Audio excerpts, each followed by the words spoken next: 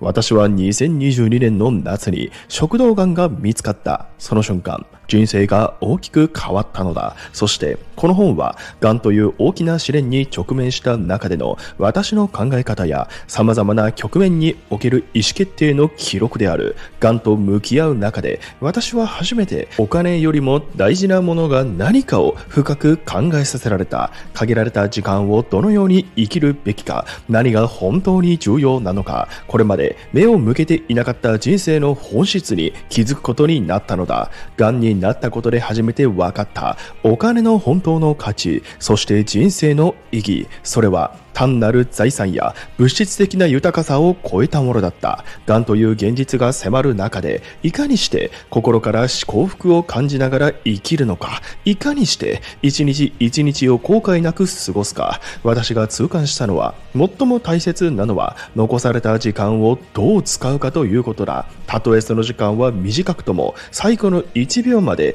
幸福を追求できると、今では確信している。この本ではそんな私の思いや経験そして苦しみや希望葛藤の全てをありのままに伝えたい人生が有限であることを知った時に初めて見える景色手に入れられる心の豊かさについて一人でも多くの人に伝わってほしいがんを通じて学んだお金と人生の本質を精一杯語ることであなたが日々の中で何を大切にすべきかどのように生きるべきかのヒントになればと願っている。皆さんどうもこんにちは。いつもご覧いただき誠にありがとうございます。本要約チャンネルの竹見です。今回は山崎はじめさんが書かれた、癌になって分かったお金と人生の本質という本をご紹介していきたいと思います。この動画で興味を持っていただきましたら、概要欄のリンクからぜひ一度本書を手に取っていただけると嬉しく思います。それでは本書の内容で一緒にしっかりとお勉強して人生の本質に向き合っていこうではありませんか？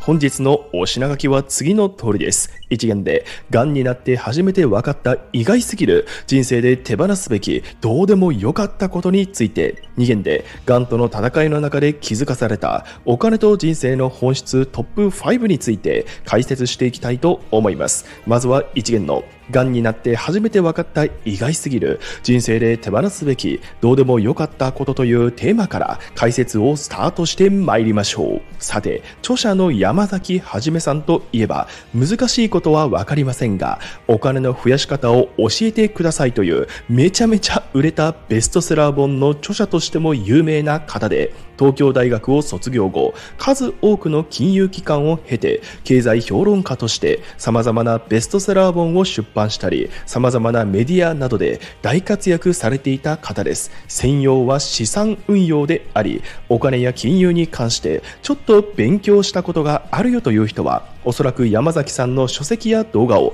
一度ぐらいは見たことあるでしょう。ずっと金融畑一本でやってこられた。まさにお金のプロ中のプロとも呼べる方でお金に関する知識や資産運用に関する分かりやすく合理的なアドバイスは数多くの人々を虜にしてきました。ですが残念ながら2022年の夏に食道がんが見つかり2024年にこの世を去られております。本書は金融のプロである山崎さんが癌になって初めて気づいたお金の本質そして癌になって初めて分かった人生の本質について分かりやすく書かれた一冊となっています。おそらくこれを聞いている人は今元気な方が多いでしょうから自分が将来癌になる時のことなどは想像できないかもしれません。ですが人間は終わりの時間を意識して初めて人生の本質であったり大切なことが見えてくることがあるのです。山崎さんんは資産運用のプロですからおそらく金融資産もかなり持っておられたことでしょう。端的に言えば相当なお金持ち資産家だったはずです。そのような状況の中で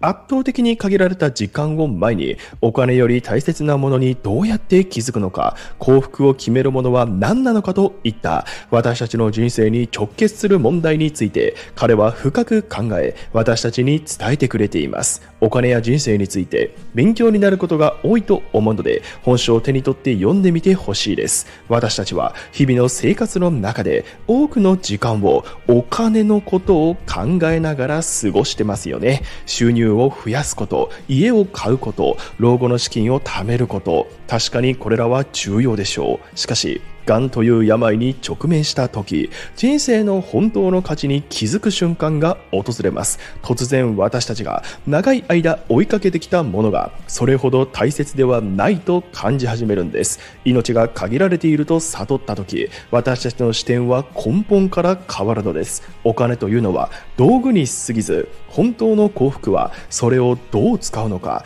誰と共有するかにかかっています。人生の本質に目を向けた時、私たちちがこれまで必死になって追いかけてきたお金や物質的なものはあまりにも儚いものであるということを悟るんです。限られた時間の中でどう生きるべきかを問い直すことは、がん患者だけでなく、私たち全員にとっても重要なことです。私たちには誰も明日の保証なんてありやしないんです。はっきり言って、不幸にも明日死んでしまう可能性もあるわけです。だからこそ、今この瞬間をどう使うかが人生の質を決定します。人生とは短く予測不能なことばかりです。しかし、限られた時間をどのように生きるのかを選択することは私たち自身の手に委ねられているんです。どんな状況であれ幸福を追い求めることは可能であるということを本書は教えてくれております。ではここから具体的に著者が癌になって初めて分かったどうでもいいことを人生で手放すべきことについて紹介していきたいと思います。まず一つ目に紹介したい癌になって初めて分かった手放すべきどうでもいいいいことは、がん保険はやっぱりいらなかったということでございます。さて、がんにかかってしまったという話をすると、圧倒的に多い質問で、がん保険はどうされていましたかと、そういう質問があるんです。結論から言うと、著者はがん保険には入っておりませんでした。著者はこれまでずっとがん保険をはじめとして医療保険なども含めほとんどの生命保険は不要であると述べてきました。著者は過去の著作においても生命保険や医療保険特にがん保険に対して非常に批判的な立場をとっています。その理由の一つは日本の公的医療制度は非常に充実しているため基本的な医療費は健康保険で十分にカバーされるからです。また保険会社が提供する保険商品は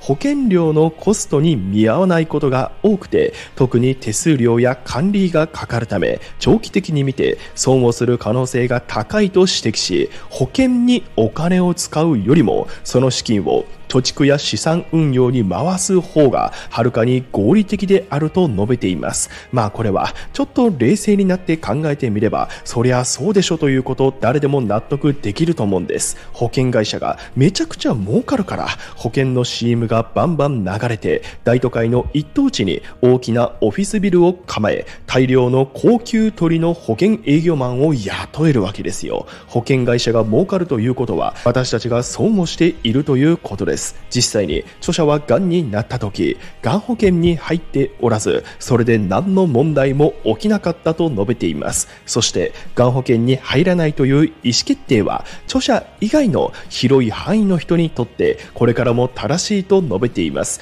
細かい金額などについては本書を詳しく読んでほしいですが結論だけ言うとがんになった著者がどうしても負担しなければいけなかった金額は約75万円です。大掛かりな手術を伴う治療をしたにもかかわらず、意外に大した金額ではないなと、日本の健康保険制度に関心、感謝したと著者は述べています。さらに著者は、東京証券業健康保険組合の加入者でしたから、最終的に著者がどうしても支払わなければいけなかった医療費は約14万円に過ぎなかったそうです。国民健康保険の場合の75万円であっても、著者が加入していた東証健舗の場合の14万円であっても大抵の人にとって貯金の一部の取り崩しで十分に払える額でしょう。皆さんはおそらくね、何かしらの健康保険に加入しているはずですし、そうであるのならば、少々の個室代などの余裕を見たとしても、200万円や300万円の貯金があれば、健康保険が適用される標準的な治療を行う限り、がん保険に入っていなければ、がんの治療費が払えないという事態は、まずないだろうと著者は述べています。ですので、がん保険の保険料を毎月支払うよりも、預金なり積み立て投資なりで早く数百万円の蓄えを作る方が賢明だと著者は繰り返し述べていますまたがん保険だけでなく生命保険は不幸の宝くじであるとしばしば言われています普通の宝くじというのは持っている番号が当たりだった幸運な人が儲かりますよね。がん保険を含む生命保険では不幸なイベントが降りかかった人が保険に加入していて得をするから生命保険は不幸の宝くじと言われています。では皆さん冷静に考えてみてください。宝くじの当選者が宝くじは爆発的に儲かることがありますよとくじを買わないと絶対に当たらないわけだから皆さん宝くじ買うべきですよと言ったら皆さん宝くじ買おうと思いますか？普通にね確率の計計算ができる人であれば宝くじというのはめちゃめちゃコスパが悪く無知への税金とも言われているはっきり言ってぼったくり商品ですから得だと思って買っちゃうのは率直に言って相当に愚かな人です。そして幸運な人が儲かるくじであっても不幸な人が儲かるくじであってもこの理屈は変わりません。がん保険に入っていて助かったという経験者の話を聞いて感動し自分もがん保険に入ろうと思う人は相当に判断力が弱いと著者は述べていらっしゃいます。それでは次2つ目に紹介したい、がんになって初めて分かった人生で手放すべきどうでもいいことは、地位財競争であります。さて皆さんは、地位財という言葉を聞いたことがあるでしょうか？地位財とは、他の人との比較によって価値が決まる財とか物のことを指しております。例えば、高級車とかブランド品、高級住宅などが地位財に当たります。これらは他の人よりも優れているという満足感が価値の大部分を占めるものです。つまり、地位財というのは他者との比較によって自分の社会的な地位や成功を誇示する手段として使われることが多いんです。例えば、ある人が新しい高級車を買うのは大抵の場合、単に移動手段としてそれが必要だからじゃなくて、他の人よりもいい車に乗っているということを見せびらかしたいから、俺は金持ちなんだぜと、俺は成功者なんだぜと、周りの人に見せびらかしたいからでしょう。このように知財の価値というのは自分がそれを持つことによって他の人に対してどう見られるかというのが大きく影響するわけです。この性質上、知財は他人との競争がエスカレートしやすいです。もっと高級なものを、もっと他人が羨ましがるものを、などと言って、永遠に競争に巻き込まれてしまう可能性があり、地位財が重要な非地位財への支出を圧迫することで、生活の幸福度を下げる原因になります。一方で、非地位財というものもあって、これは他の人との比較に左右されない財のこと、例えば健康とか家族との時間とか自分だけの余暇の時間などは非知財に当たります。これらは他の人がどうであれ自分にとっての価値が変わることはありません。そして地位財と非地位財どちらが人を幸福にしてくれるのかという問題についてはもうすでに科学的な決着がついていて非地位財の方が持続的な幸福感長期的な幸福感につながるという結論が多くの研究で示されているんです。地位財である高級車とかブランド品を購入すればね、俺は金持ちだぜと、他の人よりも自分の方が圧倒的に優れているんだと感じて幸福感が得られることがあります。しかしこの幸福感というのは一時的なものに過ぎず、長続きしないんですね。人というのはすぐにどんな恵まれた環境であれ、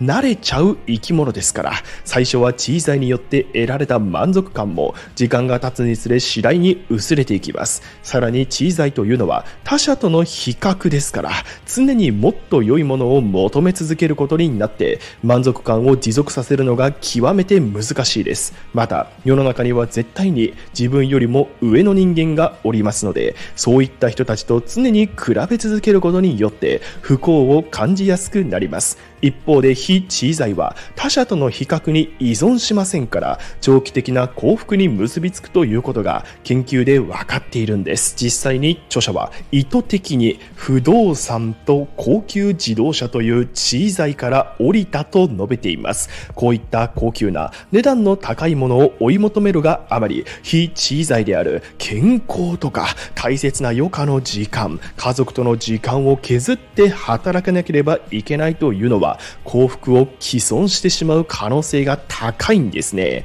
これを聞いている皆様の中にも知財の無限に続く競争に巻き込まれてしまっている人は結構いらっしゃると思います。早めにその競争から降りないとなかなか幸せな人生を歩むことは難しくなってしまうでしょう。また世の中というのは全てトレードオフで構成されておりますので知財を求めれば健康や余暇の時間といった非知財を失うことになります。果たしてそれは自分にとって幸せなのかということも真剣に考えなくてはいけないのです。それではこの辺で一元の内容をまとめておきます。一元では癌になって初めて分かった人生で手放すべきどうでもいいことを2つ紹介しました。1つ目は癌保険。2つ目は知財競争でした。それでは次2元で癌との戦いの中で気づかされたお金と人生の本質トップ5について解説していきたいと思います。さてではこの2元では1元とは逆にね癌になって初めて著者が気づいた人生で大切なことについてどんどんご紹介していきたいと思います。ぜひ参考にしてください。早速まず1つ目に紹介したい。癌になって初めて分かった。お金と人生の本質はお金より大切なものに気づく手段は怒りであるということでございます。さてそりゃね皆さん。お金ないよりあった方がいいでしょう。ですが世の中にはもっと大事なものがあるということも皆さんも薄々分かっているのではないでしょうか。とはいえうすうす分かっているだけで明確にこれだと言い切ることができなかったり気づいていたとしてもそこに重きを置けていないという人が多いと思います。私たちは毎日を生きていくことで精一杯でやるべきことが目の前にはたくさんあって生活のためにお金を稼ぐ必要があり日々の慌ただしさの中でお金よりも大切なものについて考える機会を失ってしまいます。お金の損得は一旦意識に登るとそこから離れるのは難しいし私たちは何か意思決定をする時にすぐにお金について考えてしまうという性質癖があります。これを払拭できるのはふつふつと湧き上がる怒りの感情だけであると著者は述べています例えばこんなことが許されてたまるかよとか私のことを何だと思ってるんだ？俺のことを舐めるなよ？やってらんねえよといった野蛮な生の感情です。怒りが損得を上回った時に人は損得を離れて損得以上に大事なものに目を向けることができるんです。例えば著者はは自分が経済的、金銭的に相当損をするにもかかわらずリスクを取ってもっと大事なものにかけたことがあります。それはとある銀行に勤めていた頃、顧客の利益を盗み出す泥棒のような行為をしていた銀行を内部告発したんです。著者はその職場を大変気に入っていますし会社にもね著者が内部告発をしていることがいずれはバレちゃうわけですから生活をリスクにさらす行為でもありました。しかし許せないという怒りの感情によって著者は行動を起こしたんです。著者の告発のモチベーションはファンドマネージャーとして顧客の利益の盗み出しを許すことができなかったというあえて分類すると俺を舐めるなよという個人的な怒りが告発の根底にあったと言います。著者はファンドマネージャーとして職業人としてプライドを持っているんだという理解が自分の心の支えだったため個人的なプライドがこの告発のきっかけとなったんです。プライドがきっかけではありましたがお金よりも大事なことに気づくきっかけになったと著者は述べています。このケース以外にも金銭的にはそんなことを何度か選んだことがあるそうですがいずれもきっかけとなっているものは怒りでした。怒りが損得を忘れさせ考えをリセットするスイッチお金よりも大切なものに気づかされるスイッチとなったんです。怒りという感情は単なる一時的な反応ではありません。それはあなたの奥底に眠っている普段は気づかない価値観や信念に火をつけ行動を促す強力な原動力です。また怒りが私たちを動かす時よりレベルの高い目標に向けた行動を導くことがあります。ます。例えば社会的な不正に対する怒りはより公正な社会を作りたいという強い願望に変わり個人を超えた大きな影響を及ぼします。このように怒りというのはなぜ自分はこんなにも強く反応しているのかと問いかける機会を与えてくれます。そしてその答えはしばしばお金では解決できないあなたのもっと深い価値観に根ざしているんです。さらに怒りが私たちに伝えるのは単なる不満やフラストレーションではなく理想と現実のギャップに対する強烈な感覚です。このギャップを埋めるために行動することこそ真の幸福や満足感につながる場合が多いんです。お金の追求が一時的な快楽をもたらす一方で怒りに基づく行動は長期的な意味や達成感を与えてくれるという側面もあります。とはいえ怒りというのはそのまま放置しておいてはいけません。端的に言って怒っている状態というのは自分の精神のコントロールを失っている状態なわけですから判断を間違いやすいので怒っている状態そのままで物事を判断するというのは危険です。怒りに敏感になればなぜ自分はこれに対して怒りを感じているのかということを冷静に分析したり怒りをスイッチとして自分の本当の価値観に気づくことができます。ですがそのまま怒りを放置するんじゃなくもっと安定しうる妥当な判断の理由に変換する必要があります。具体的には怒りを信用や共感ギリギリ許せる理由としてプライドあたりにまで変換しておかないといけません。例えば先ほどの内部告発の例で言うと最初は怒りだったんですが著者はそれを自分のプライドという理由に変換ししそのために戦ったわけです。皆さんも自分の怒りを信用共感プライドなどに変換し変換した後で判断したり具体的な行動に移してほしいと思います。それでは次2つ目に紹介したい。がんになって初めて分かったお金と人生の本質は主戦度ファイヤーは具の骨頂。お金は増やし方より使い方が大事であるということでございます。さて世の中の多くの人というのはお金を増やすことばばかりを考えていてお金をどのように使うのかということについては実はあまり考えていないんですね。あまり考えていないというか端的に言っちゃうと下手なんです。ですが当然お金というのは貯めるだけじゃ意味がなくて有効な使い方をして初めてその価値を発揮してくれるものです。お金には使い時があるため賢い使い方をすることが人生を豊かにする上で非常に重要なんです。そのようなお金を増やすことお金を貯め込むことばかり考え使い方が下手で全然生きたお金の使い方をできていないような私たちに喝を入れる一冊がございます。何お前お金ばっか貯め込んでいるんだと。そんなことしたって、死んだ時に金が大量に残ってたら全部無駄じゃないか。無駄な金を稼ぐために使った時間は二度と元に戻らないんだ。だから生きているうちに最大限自分の経験や人生を豊かにするために金を使って死ぬ時は金融資産ゼロで死のうぜと提案しているある有名な本があるんですね。それはビル・パーキンス氏によって書かれたダイウィズゼロ人生が豊かになりすぎる究極のルールという本です。日本でも相当なベストセラーになっているので読んだことがある、聞いたことあるという人も多いでしょう。そして著者もこれを読んだそうですが、その内容にはおおむね同意であるとおっしゃっています。ダイウィズゼロの中で著者が特に印象に残っている主張は次の4つです。1真に価値のあるお金の使い方は経験だ。良い経験は思い出として長らく効果を発揮する。2人間の楽しむ能力は年齢に依存する。適切な時に惜しまず金を使え。3仕事が面白いは適切にお金を使わない理由にはならない。4寄付や相続も生きているうちに有効に行え。さてどうでしょうか？どれも非常に耳が痛いというか私たちが普段実践できていないことばかりですよね。例えば若い頃から収入の一定割合を貯蓄して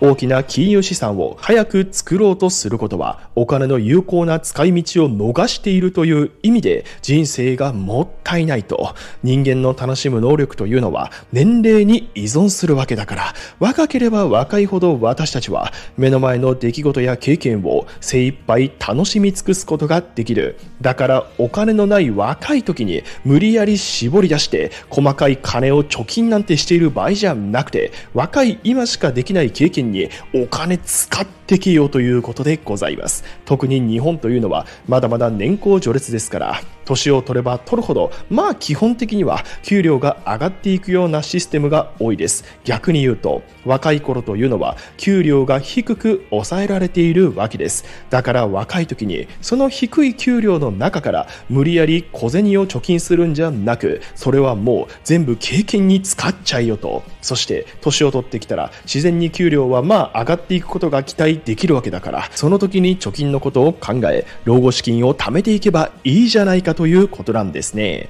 また自分が死ぬ直前に生涯最大の金融資産額を持っているような人生はお金の使い方として無駄が大きすぎる。使わなかったお金を稼ぐために費やした時間を考えれば何年分もの労働を捨てたに等しいという厳しい批判もダイウィズゼロの中には書かれております。これは特に金が大好きな日本人には耳が痛い言葉かもしれません。老後のお金の不安というのはもちろんわかるんですが多くの人はお金を貯め込んだままそのまま使わずに膨大なお金を残して亡くなってしまうケースが多いです。もしその残っているお金をもっと生きているうちに有効活用できたらもっと豊かな人生が遅れたのではないかということなんです。お金のためにこれまでいろんなことを我慢してきて厳しい節約に何年も何年も耐えてきて結局お金を残して死んじゃったら何のための我慢だったんだ？何のための節約だったんだということになりますよね。だったら若いうちにもっとやりたいことをやって美味しいもん食っときゃよかったなと。とみんな思うわけですよ。お金はあくまでも手段であり、幸福のために使うものですから、お金をめちゃくちゃ残して死んでしまうということは、お金を正しく使えなかった、使えていなかったということになるわけです。さて、このように人生において適切な時にお金を使うということの重要性を考えると、著者が疑問に感じるのは、若くして引退できる金融資産形成を目指す人生戦略、いわゆるファイヤーというやつです。ファイヤーとはできるだけ早い時期にある程度のお金を貯め、そのお金が貯まったら運用だけで生きていき、仕事はさっさとやめようという運動です。例えば、手取り収入が年間500万円として半分の250万円で暮らし250万円を投資に回し投資が年率4%で回るのであれば17年強で金融資産は6250万円を超えます。そしてこの6250万円が4%で運用できるのであれば年間250万円の収益が寝ていても得られるので今まで通り年間250万円で暮らすのであればもう働働かなくたって自動的に生きていけるという計算になる。すなわちファイヤーが達成されるんです。今このファイヤーを目指している人が非常に多いですが先ほどの若い時ほどいろんな経験ができ人間の楽しむ能力は年齢に依存するという観点からすれば20代30代あるいは40代の一番若い人生において最も貴重と言っても過言ではない十数年の歳月を手取り収入の半分で暮らすということ。はいかがなものかと著者は述べています。まあねこの辺はもちろん一人一人の価値観によって決めることではあるでしょうが年を取るにつれて確実に私たちの健康というのは衰えるし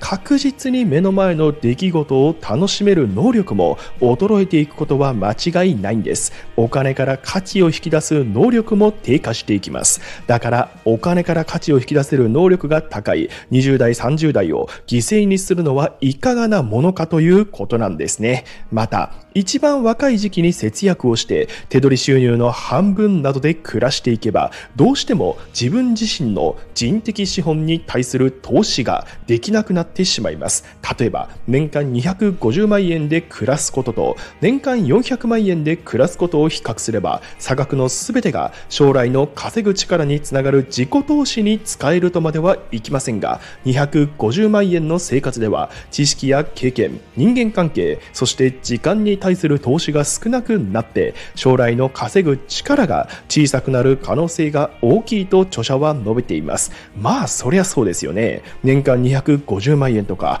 あるいはそれ以下で暮らすとなると本を買うのにも躊躇してしまうでしょうし何か新しいスキルを身につけるためのスクールに通うのも難しいでしょうし食費を削ってしまって健康を害してしまうなんてことにもなりかねません。それでは次3つ目に紹介したい、がんになって初めて分かったお金の本質は、お金を稼ぐには幸福の犠牲が伴うということでございます。さて、これは多くの人が忘れがちなんですが、お金を稼ぐには幸福の犠牲、もっと言えば健康の犠牲も伴います。よくね、お金持ちになりたいよとか、お金のことを全く気にしないような余裕のある暮らしを実現したいよと言っている人いますが、そんな人は幸福や健康をある程度犠牲にするという覚悟はありますか？先ほどのファイヤーなどでもよくわかるんですが、ファイヤーをするためにはまとまった金融資産を作る必要がございます。そして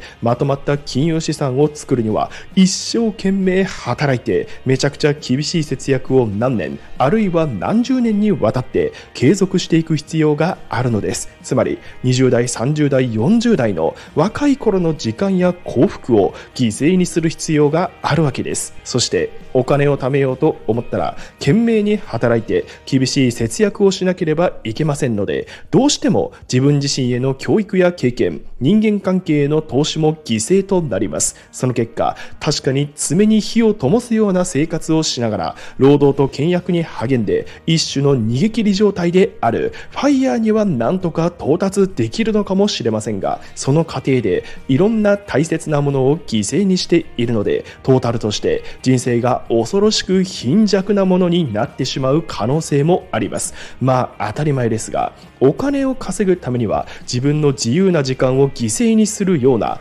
幸福の犠牲も伴います。時間というのは私たちを幸福にする源泉であり研究によると時間をお金よりも大切にすることがより大きな幸福感に結びつくということが明らかになっています。またハーバード大学の研究では時間を大切にすることが人生全体の満足度に大きく寄与することが確認されています。この研究では時間が限られた資源であるという認識を持つと生活の中で人間関係を重視するようになってそれが幸福感の向上につながるとされているんです。また年収数千万円とか年収数億円のような超一流エリートが一番欲しがっているものは何だと思いますか皆さん。それは自由な時間なんですね。彼らは社会的にもめちゃくちゃ認められている上にお金もたくさん持っていますが忙しすぎて自由な時間を持っていないんです。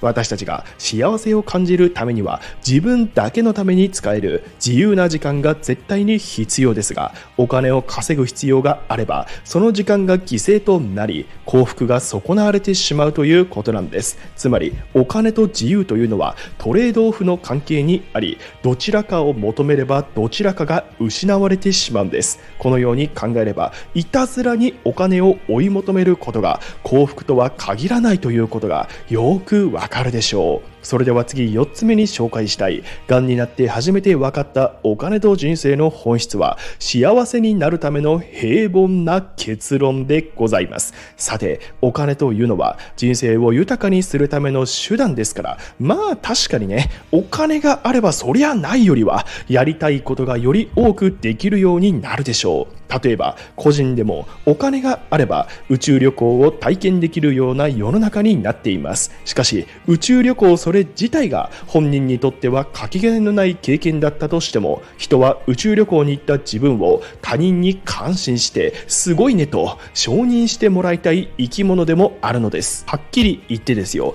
宇宙旅行に自分が行ったということを誰にも言えないのだとしたら宇宙旅行に行きたいと思う人はどれぐらいいるるでしょうか？莫大なお金をかけてまで宇宙に行きたいという人はおそらくほとんどいないのではないでしょうか？人にね俺宇宙に行ったよと言いたいからみんな行くわけですよねまあ基本的には。某有名人が。宇宙旅行に行きましたが俺宇宙旅行に行ったよと結構ドヤ顔で SNS でめっちゃ言ってましたよね。宇宙 Now っていう YouTube 動画上げてて私もつい見ちゃいました。まあでもこれは当たり前のことで誰だってそうでしょう。人間というのは自分に関して他人による承認を得たことを実感して初めて幸せを感じる生き物だからなんです。いくらお金があろうとも友達も恋人もいないような人生は面白くも何ともないし幸せを実感することもできないでしょう。つまりここから幸せになるには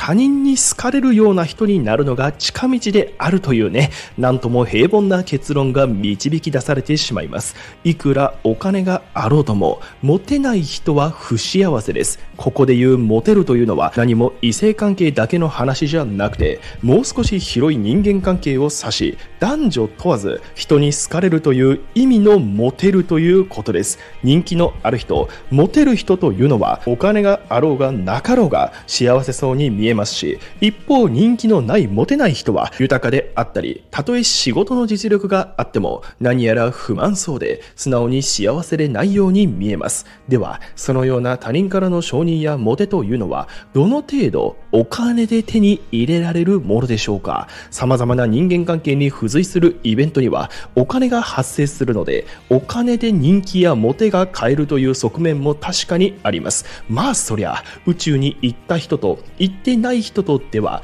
宇宙に行った人の話の方が多くの人は聞きたいと思うでしょう。ただもちろんそれだけでモテるわけではありませんよね。お金というのは人気やモテを手に入れるにあたってポジティブな影響力を持つ要素であることは間違いないでしょうが別にお金がなかろうと人柄を良くするなどの努力で人気を獲得し幸せを感じることは可能なんです。それでは次5つ目に紹介したい。がんになって初めて分かった。お金と人生の本質はお金に感情を振り回されず冷静に付き合えということでございます。さて世の中にはお金に振り回されすぎてお金を中心に人生が回ってしまっているという人もいるかもしれませんが忘れちゃいけないのはお金というのは生活や娯楽のための手段人生を豊かにするための手段にしか過ぎないということ。お金のために自分の生活や人生の豊かさを犠牲にしている人も世の中には多数存在しておりますが正直それは本末転倒でお金との付き合い方を再度見直していく必要があるでしょう。また最近では新ニーサなどもあって投資ブームが流行ってますよね。投資をする目的は人それぞれでしょう。病気になって働けなくなってしまった時に備えてお金を増やしておきたいとか老後の生活資金を確保したいなどなどあるいはインフレリスクを回避したいといったふうに多くの人はまあ何かしらの目的を持って投資をしております。そしてこのような個人の投資家が資産運用にあたって最も意識すべきことはお金に感情を込めず合理的な考え方で淡々と冷静に向き合っていくということでございます。多くの人は株価が上がった下がったなどといったことに一喜一憂してますがそれはお金に感情を振り回されすぎです。またどの株が儲かりそうかなどと詳しく吟味することもお金に振り回されていると言えます。もちろんプロであればそういったことを考えてもいいですが普通に仕事をしながら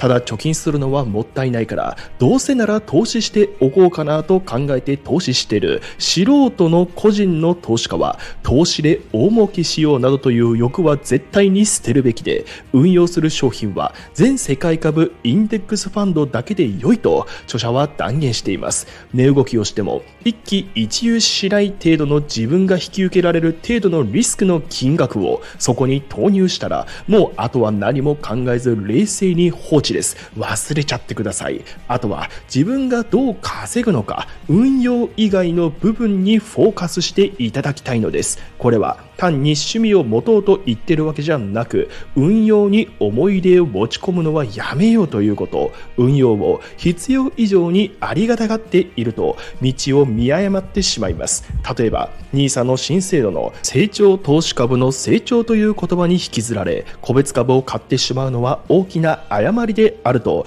金融の専門家である著者は断言しています。もちろんリスクの範囲内で趣味として個別株のポートフォリオを持っているのはいいでしょうがそうでない大多数の人は成長投資枠でも全世界株のインデックスに投資していれば十分なんです。それではこの辺で2限の内容をまとめておきたいと思います。2限ではがんになって初めて分かったお金と人生の本質について合計5つご紹介しました。1つ目はお金より大切なものに気づく手段は怒りであるということでした。2つ目は主戦度ファイヤーは具の骨頂お金は増やし方より使い方が大事であるということでした。3つ目はお金を稼ぐには幸福の犠牲が伴うということでした。4つ目は幸せになるための平凡な結論。人に好かれなさいということでした。5つ目はお金に感情を振り回されず冷静に付き合えということでした。本日は以上です。この動画が良かったら、高評価ボタンとチャンネル登録どうぞよろしくお願いいたします。また、他にも役立つチャンネルをやっておりますので、概要欄のリンクからチェックしていただけますと嬉しいです。今画面に出ている最新動画、おすすめ動画もチェックしていただけると大変嬉しいです。本日はご清聴ありがとうございました。